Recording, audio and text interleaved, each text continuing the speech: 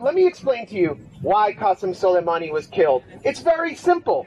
Because he rolled back the Salafi jihadi forces that the U.S., the CIA had been backing in Syria to destabilize another independent sovereign country, and he helped prevent by organizing the popular mobilization units, Hashd al-Shabi, he helped prevent Iraq from becoming a U.S. client state. It is that simple. And the assassination of Qasem Soleimani is revenge for his success in rolling back the most vicious imperial plot that we have seen in recent years, which sought to have black flags, the black flags of ISIS and Al Qaeda, the organization responsible for the 9 11 attacks, flying over Middle Eastern cities. Qasem Soleimani is being mourned in Iran for that reason. And there hasn't been a resistance for years because of the congressional Democrats. What have they been doing? Seeking, seek, where, have they been, where have they been?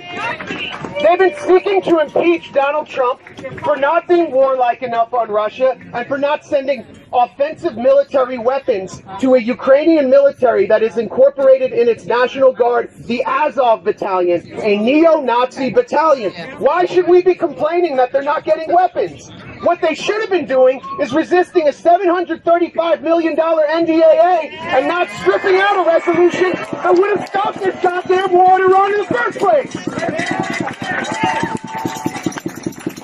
So it's up to us to be in front of their offices. It's up to us to be informing our fellow citizens about the lies we're being told. It's up to us to be in the face of a bought out, sold out corporate media. It's up to us to be the real resistance. The resistance hasn't been out here at all.